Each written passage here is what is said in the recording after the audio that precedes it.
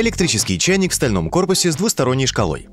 На распаковке чайник Hyundai. Модели HYK S3602. Поставляется он в фирменной картонной коробке в комплекте с подставкой и документацией. Чайник получил металлический серебристый корпус в стиле ретро. Ручка из ненагревающегося черного пластика крепится в верхней части корпуса.